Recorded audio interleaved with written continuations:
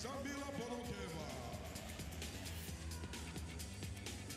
Ladies and gentlemen, please put your hands together for the final time of the evening. And help me welcome as we bring our first fighting out of the red corner, representing Armenia, is David.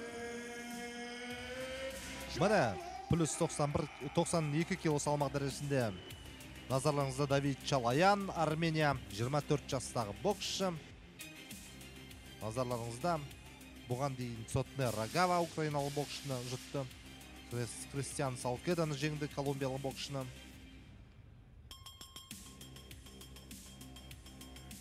Өзбекстанның боксшысын үштек есебімен жеңген болатын. Финалға шығып отыр. Аса ауыр салмақ дәрежесі алыптардың айқасы назарларыңызда. Оның қарсыласы марк петровский 22 жастағы боксшы. Бұл боксшы мигель полды тринад пен табаган өкілін жартылай финалда жолынан ығыстырды.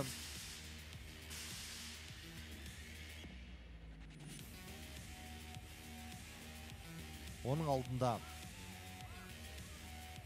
ямайкалық рикардо браунды жеңді. Сегізде бір финалда германиялық нелви тиафаканы жеңді. Ширек финалда эквадорлық керлон конганы жеңген болатын. Бірақ осы екі жекпе жекте осы неміс және эквадорлық боксшымен болған бәсекеде енді біраз дау туғызды бұл жекпе жектерде расында да. Эквадорлық боксшы керлон конго жеңілген жоқ деп көпшілік есептеді. Бірақ дегенмен де төрешілердің соңғы шешімі осылай болғандықтан яғни оған біз еш дау айта алмаймыз. Сөйтіп финалдық ай- айқас аса ауыр салмақ дәрежесі. Давид чалаян марк петровский. Армения және ресей. Осының алдында екі жыл бұрын ғана әлем чемпионатының финалдық сайыстары естеріңізде болса керек ресейдің екатеринбург қаласында өткен жарыста. Осы бас жүлдені біздің қамшыбек қоңқабаев пен бағатұр жалалов өзбекстандық боксшы сарапқа салған болатын. Сол жарыста өзбек елі өкілінің бағжанов бағадұр жалолов әлем чемпионы атанса біздің қамшыбек қоңқабаев күміс медаль иеленген болатын. Ал қазір сіздер өнерін тамашалап отырған марк петровский ұзақ жылдар бойы біраз жылдар бойы ұзақ демей ақ қояйық біраз жылдар бойы максим бабамин көлеңкесінде жүрді. Ә, өте жас боксшы.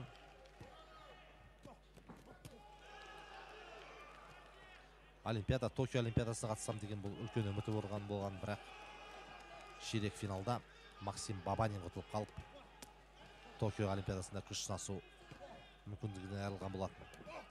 Есесіне биыл бұл жігіт ресей чемпионы атанды. Міне енді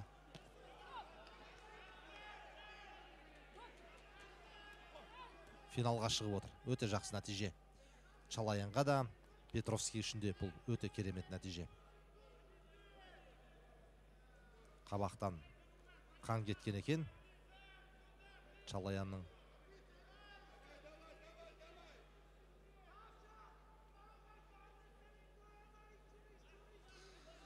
Бірден айта кетейік бұл салмақ дәрежесінде мықты боксшылардың аса ауыр салмақ дәрежесінде біз айтып отырмыз ешқайсысы келген жоқ.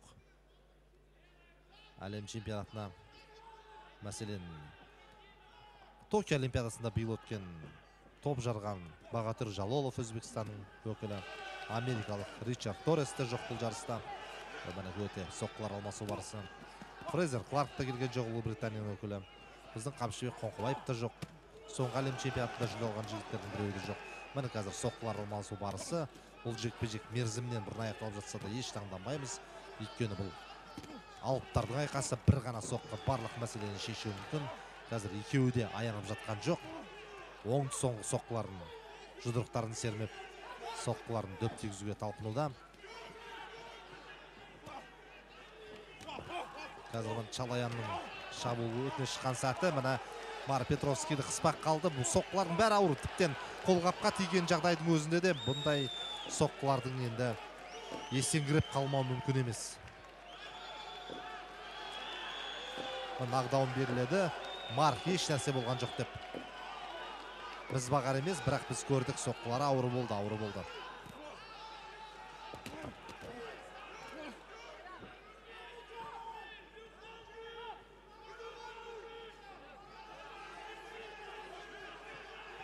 Бұл жігіттердің қимылдары баяу болғанымен бірақ соққылары өте зілдей. Қабақтан кеткен қамын әлі де чалаянның бір біраз мазасын алды ау егер осы жарақаттың салдарынан жеңіліп қалса әрине өкінішті болады.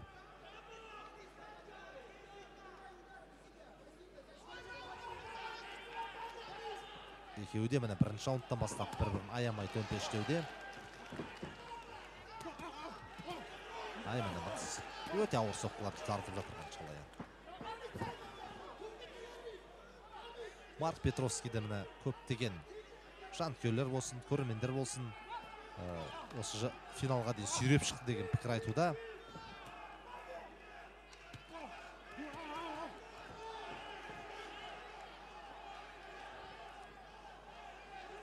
Бірақ қалай болғанда да енді финалға шығып отыр. Финалда давид чалаян әзірге соққылары мығым. Марк петровский оның үстіне шаршап қалған секілді.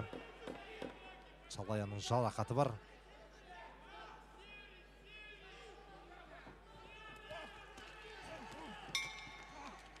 Сонымен бірінші раунд та аяқталды біздің ойымызша біздің пікірімізше енді армениялық боксшының алымды көрінді соққыларды дәлірек тиді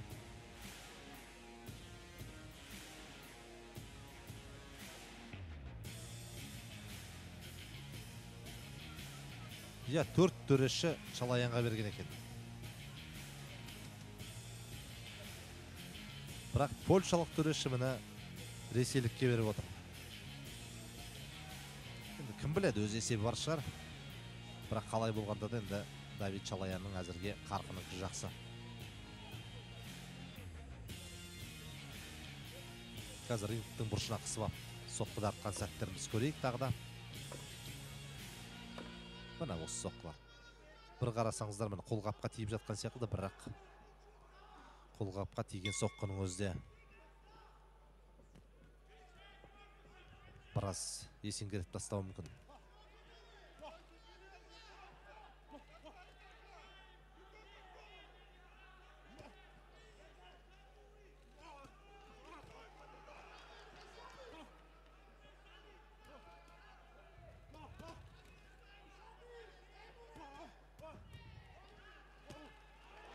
Міне жақсы бір соққысын тағы да дарытты. Чалаян петровский да міне.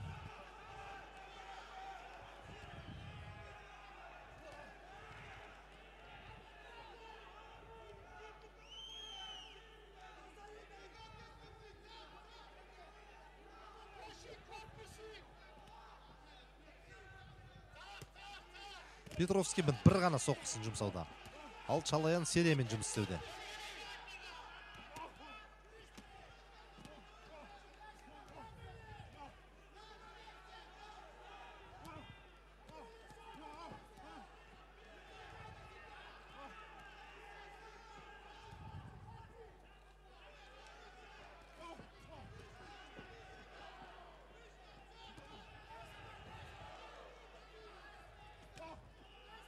Давидтің күш сарқып қалмаса.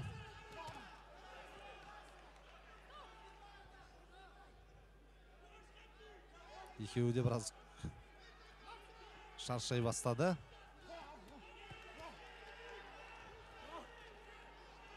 Иектің астынан апперкотпен ұрған сәті. Қатты тимесе де бірақ қарсыласын біраз әбігерге салды.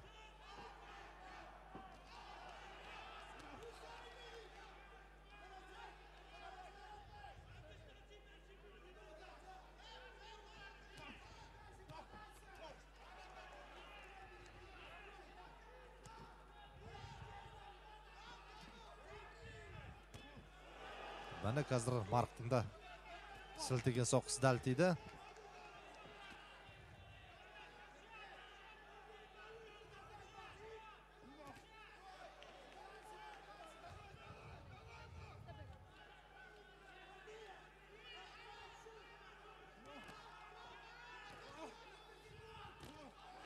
Ай жақсы соққылар алмасу барысы.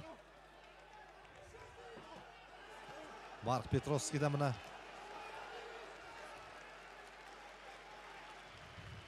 шаршап қалды мұны марк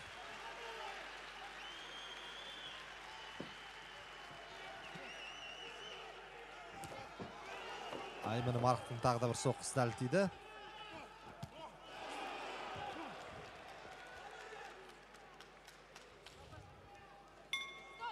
екінші раунд аяқталды. Нағыз қызықты біз үшінші раундты көреміз. Кімнің функционалдық даярлығы мықты екен? Соның жеңіске жетіп жеңіске жетуі әбден мүмкін.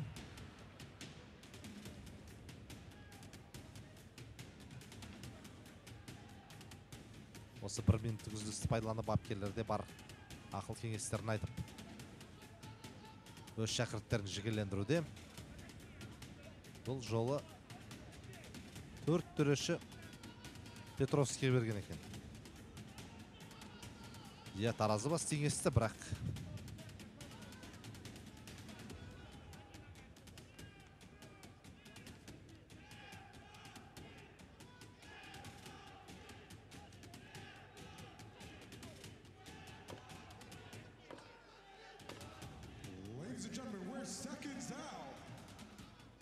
соңғы үшінші раундты көрейік міне. Соққылар алмасу барысында міне қайталау барысында көріп отырсыздар. Чалаянның соққылары дәлірек нық тиіп жатқан секілді. Бірақ төрешілер енді барлығында үшінші раунд шешеді. Көрейік соны. Әліптің артын бағайық.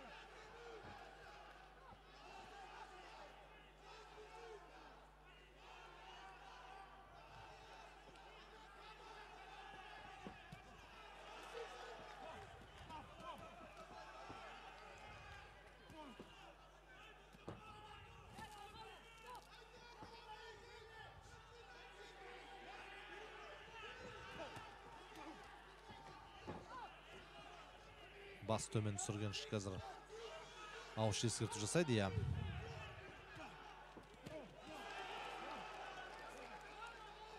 Петровский бір қарағанда енді бір ғана соққымен барлық мәселені шешіп тастауға тырысуда бірақ соққысы дәл тиіп жатқан жоқ.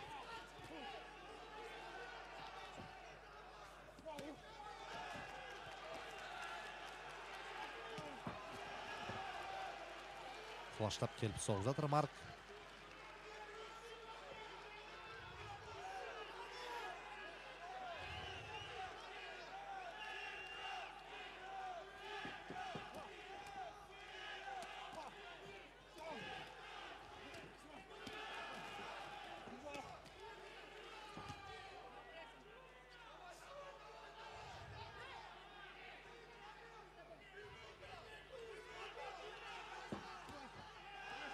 жақсы қарсы алды давид.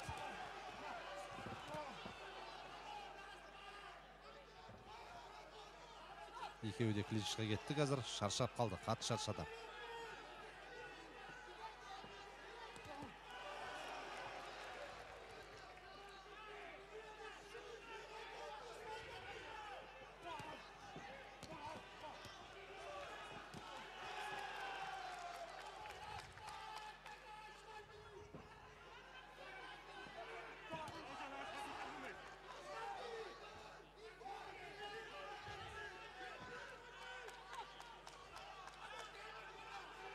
Жігіттер қатты шаршады.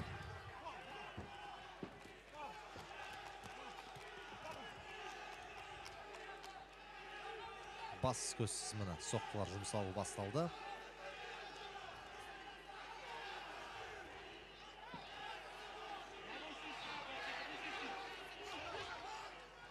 Жекпе жектің аяқталуына міне 17 секунд қалып отыр. Тағы да дәрігерлердің көмегіне жүгінуде. Енді 17 ақ секунд қой дәрігерлер тоқтата қоймас. Сүртеді де қайтадан ортаға шығарады. Міне баспен бас соғысқан сәт екен.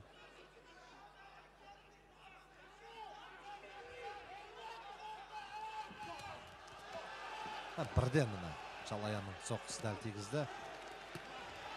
Бұл жолы барықтың соққысы да оңбай тиді енді бір бірін енді армансыз төмпештеді міне бұл боксшылар.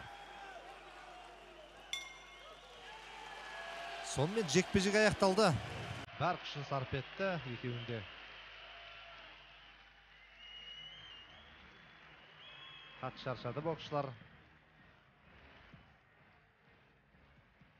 Бірінші раундта төрт төреші де ә, төрт төреші армениялық жеңді деп есептесе екінші раундта керісінше болды бәрі.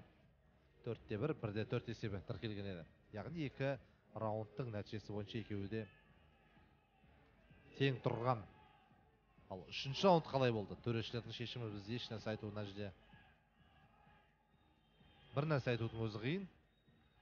Сондықтан да төрешілердің уәжін күтейік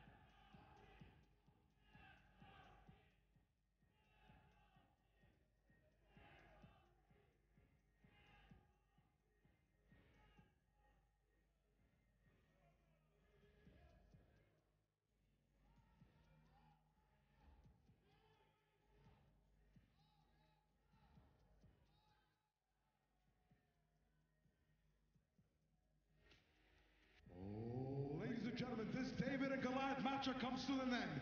With your judges ruling in favor of your winner by points, declared by split decision to the blue corner, міне сөйтіп көріп отырсыздар төрешілердің шешімі бойынша марк петровский ресейлік боксшы плюс 92 кило салмақ дәрежесінде финалда давид чалаян армениялық боксшыны ұтып әлем чемпионы атанды.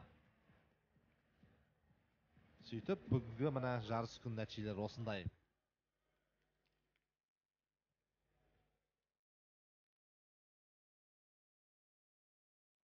Жапония бүгін екі алтын алды. Савон акудзава және тамоя цибой цубой 54 және 60 а, 54 және 67 кило салмақта.